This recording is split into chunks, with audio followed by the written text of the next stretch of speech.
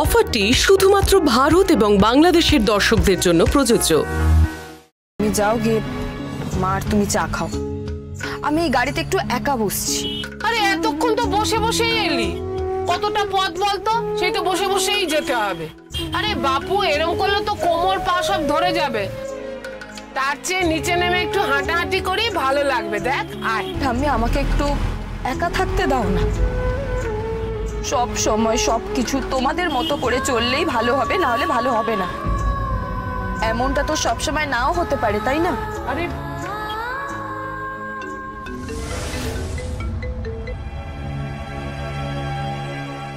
Hello. Hello madam আমি কালীচরণ বলছি। ওই টেন্ডারটার বিষয়ে একটু কথা ছিল। আপনি একটা কাজ করুন। আপনার যা কথা বলার আপনি মন্দাক্রান্তা ম্যাডামের সাথে বলুন। আমি কোম্পানিতে আর কাজ করি না, আমি কোম্পানিটা ছেড়ে দিয়েছি।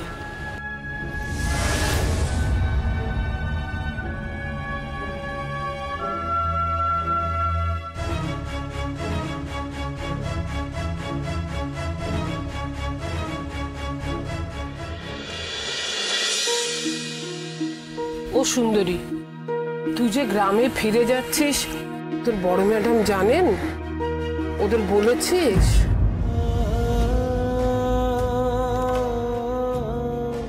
বলার আর সময় পেলাম কোথায় ঠাম্মি? মা এত তাড়াহুড়ো করল। তুমি তো জানো মায়ের সামনে তো আর এসব কথা বলাও যেত না।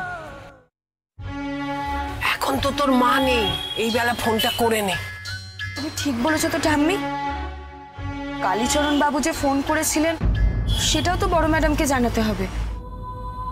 হ্যাঁ।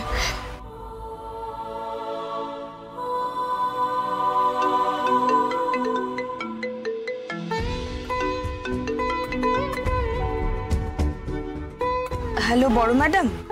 হ্যাঁ সুন্দরী বলো। তোমার মা কেমন আছেন? সব ঠিক আছে তো? হ্যাঁ ম্যাডাম। মায়ের শরীর ঠিক আছে। ম্যাডাম আজ আমি গ্রামে ফিরে যাচ্ছি। গ্রামে? কেন? ম্যাডাম আমার মা চায় না এই কলকাতা শহরে আমি থাকি। কিন্তু সুন্দরী তোমার তো পরীক্ষা সামনে। পরীক্ষা দিতে আসব ম্যাডাম। কিন্তু তার আগে পর্যন্ত আমি বাড়ি থেকেই পড়াশোনা করব। খুব তাড়াহুড়োর মধ্যে বেরিয়ে গেছি তাই আপনাকে আর জানানো হয়নি। এখন কোথায় আছো? রাস্তায়। ম্যাডাম, আপনারা খুব ভালো থাকবেন। লাবণ্য ম্যাডামকে খুব সাবধানে থাকতে বলবেন। আর পাঁচ দিন করলেই আমার ব্রতটা শেষ হবে। আমি এই ব্রতটা ঠিক শেষ করবই।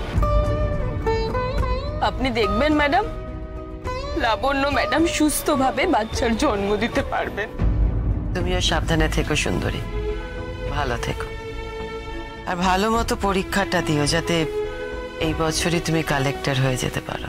আপনাদের আশীর্বাদ থাকলে তাই হবে ম্যাডাম।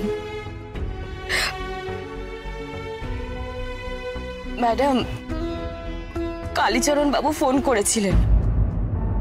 আমি ওনাকে বলেছি যে আমি এখন আর আপনাদের কোম্পানিতে কাজ করি না। তাই যা কথা বলার সে যেন আপনার সাথে বলে নেয়। আমি কথা বলে নেব। ঠিক আছে ম্যাডাম। রাখছি। রাখো।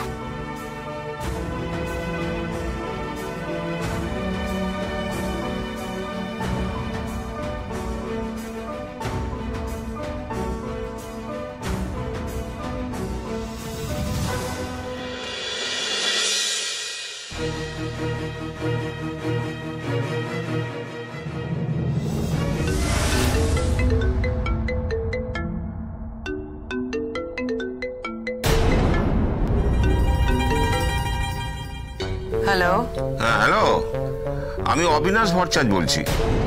আমার সেক্রেটারি আমাকে ফোন করেছিল। আপনি যে মেয়েটিকে আপনার কোম্পানিতে সিইও হিসেবে রেখেছিলেন সে নাকি কাজ ছেড়ে চলে গেছে?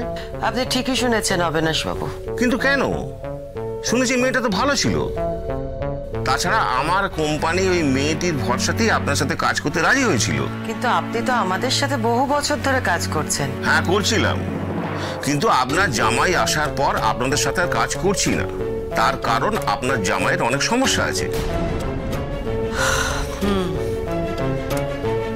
কিন্তু এখন আমার জামাই নেই। এই বললে কি হয় ম্যাডাম?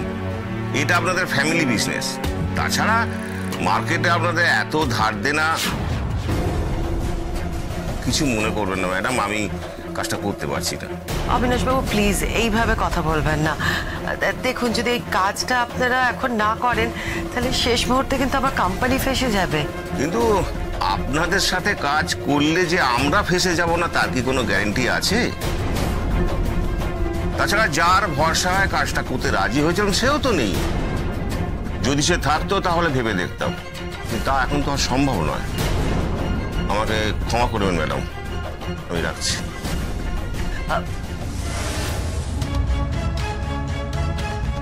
এবার আমি কি করব? আমাকে তো যে করেই হোক টেন্ডারের কাজটা করতেই হবে। কিন্তু সুন্দরী তো নেই। আচ্ছা ওকে কি একবার বলব কথাটা? মেয়েটা তো সব সময় যখন আমরা বিপদে পড়েছি আমাদের সাহায্য করেছে। দেখি না। এবারেও একবার বলে যদি কিছু মেরাকেল হয়।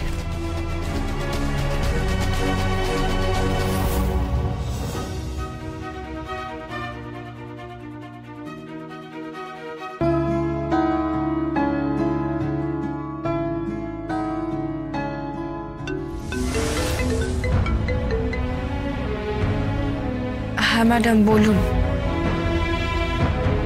পৌঁছে গেছো?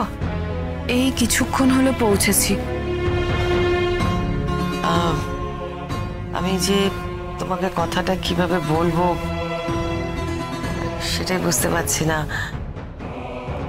আসলে আমি খুব বিপদে পড়ে গেছি সুন্দরী। কেন ম্যাডাম? কি হয়েছে? অবিনাশবাবু ফোন করেছিলেন। কালীচরণবাবু যার সেক্রেটারি। তুমি কালীচরণ বাবুকে বলেছ যে তুমি কাজটা আর করছ না। তুমি আমাদের কোম্পানি ছেড়ে দিয়েছ। সেই কথাটা কালীচরণ বাবু অবিনাশ বাবুকে বলেছেন। আর সেটা শোনার পর উনি আমাদের কোম্পানির সঙ্গে আর কাজ করতে চাইছেন না।